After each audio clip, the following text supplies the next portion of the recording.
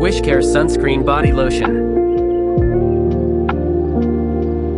This product claims to have no white cast, but it leaves white cast and it smells too acidic when applied.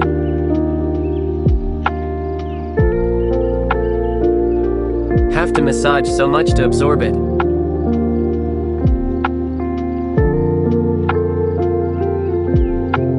It does moisture but the smell doesn't go for long. Anyone having no issues with the smell and blending property can give it a try.